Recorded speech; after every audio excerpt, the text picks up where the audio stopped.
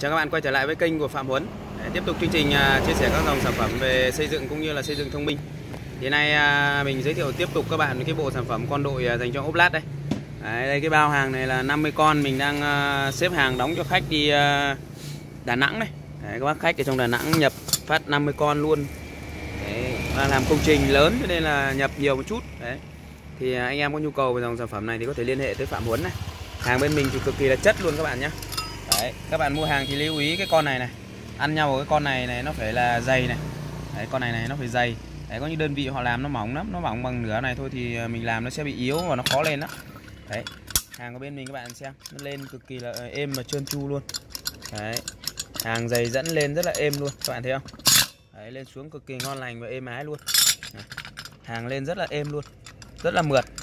Hàng của bên mình hàng 6 lạng các bạn nhé. Hàng dày dẫn hàng 6 lạng dày dẫn luôn lên hơi bị khỏe mà nó là hàng ba trụ. Hàng ba trụ là hàng khỏe hàng chuẩn nhất đấy.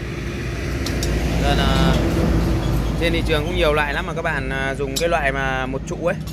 Một trụ hoặc hai trụ thì nó yếu nó không có cái độ vững như con này đâu.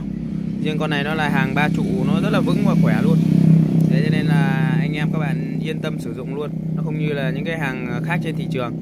Đấy, hàng bên mình là ship soát 6 lạng luôn anh em nhé rất là dày dẫn luôn. Thì các bạn có nhu cầu về à, các cái dòng sản phẩm này thì có thể liên hệ để bên mình tư vấn cho các bạn.